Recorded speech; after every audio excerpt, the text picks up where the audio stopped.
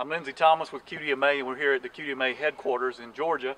And this is Andy Buck. Andy is the service manager for Power Sports at the new Cabela's Acworth, Georgia store. And Andy stopped by today to QDMA headquarters to help us put a quick service on this LM35 Cabela's tractor that we use here at QDMA headquarters.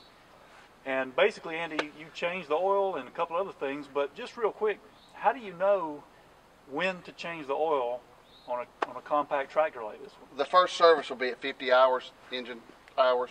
Uh, and the first service, you change the hydraulic fluid, the filter, the engine oil, and the engine filter. Is all that pretty simple enough that just the average tractor owner can do that himself? Yes, it's pretty simple. Everything's all color coded. Uh, all the oil drain plugs are color coded in yellow.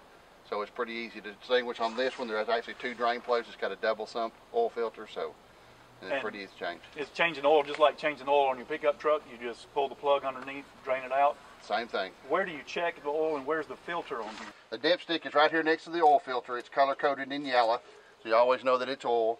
The oil filter is right beside it. It's a standard spin on oil filter. And then there's also a fill point up on the top of the engine and a fill point here on the side of the injector pump. I always top the injector pump off a little bit of oil so it doesn't start dry. What type of oil? It's a 1030 synthetic. Uh, Cabela's has it in stock in their service centers. Okay.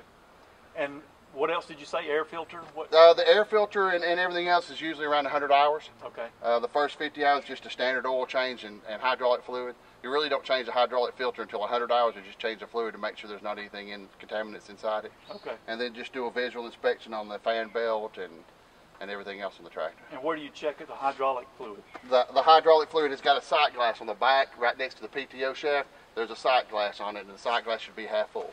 Okay. All right. So fairly simple. Doesn't how long would it did it take you to kind of run the quick? Uh, probably service?